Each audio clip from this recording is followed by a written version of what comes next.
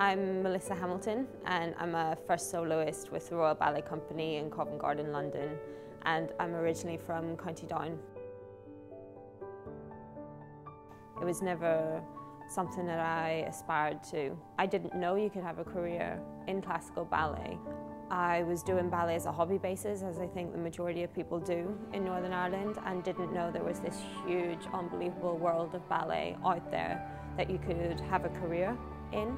And it wasn't until I was 13 and I did a summer school in Aberdeen and I met people who did this full time. They were at full time ballet schools, and I suddenly was opened up to this prospect of something that I could maybe do with my life. Um, so I was very, very late in getting into it in relative terms to my colleagues. It was then a battle to try and catch up, but I managed to do that and I'm now a first soloist with the Royal Ballet Company, which is one of the most reputable companies in the world. And I have an amazing career and an amazing life.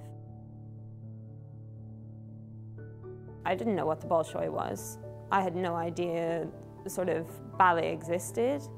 Um, I, I saw every now and again a company in the Grand Opera House, but I didn't know, I, I, had no full understanding or appreciation for it. So the fact that it has come to Belfast, I mean, it's going to get people talking, and I hope anyway, and an interest.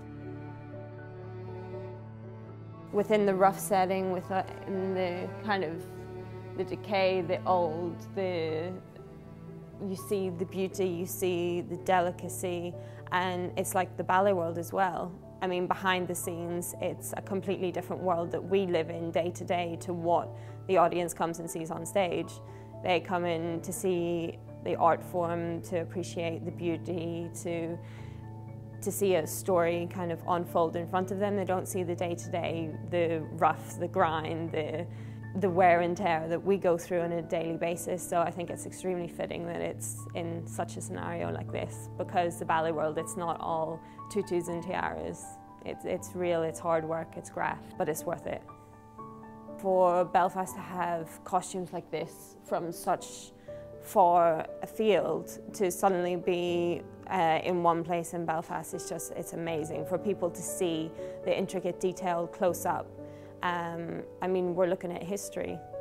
Um, and the people that have worn these, the, the productions that have been danced on, the stage that they've been danced in, it's, it's heritage.